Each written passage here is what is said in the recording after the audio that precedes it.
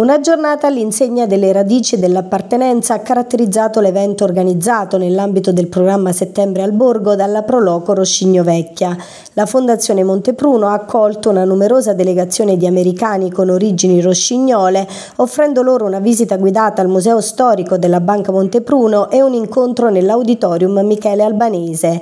Gli ospiti presso la sede municipale di Roscigno hanno potuto partecipare alla tradizionale colazione dal sindaco. Il primo cittadino cittadino Pino Palmieri ha dato loro il benvenuto rinnovando l'impegno dell'amministrazione nel sostenere iniziative che promuovano il patrimonio culturale del borgo. Durante l'incontro ufficiale il presidente della Proloco Franco Palmieri ha invitato gli ospiti americani a sostenere l'ente per realizzare il sogno di ristrutturare un'abitazione nel vecchio borgo destinata a ospitare chiunque desideri trascorrere qualche giorno a Roscigno Vecchia. Michele Albanese, presidente della Fondazione Montepruno, ha evidenziato il valore delle radici che legano le persone alla propria terra.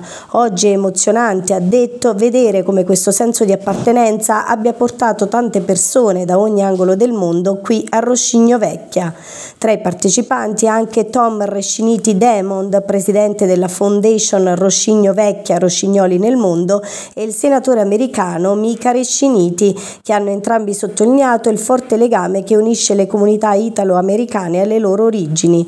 La Fondazione Montepruno si è confermata così ancora una volta un attore chiave nel promuovere iniziative che valorizzano il territorio, le sue tradizioni e le sue persone.